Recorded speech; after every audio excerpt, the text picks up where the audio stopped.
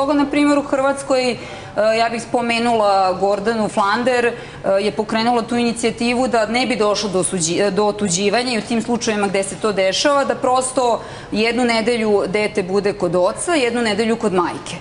I to meni se dopada ta, ta, taj model, posebno tu gde je roditeljstvo jako loše nakon razvoda.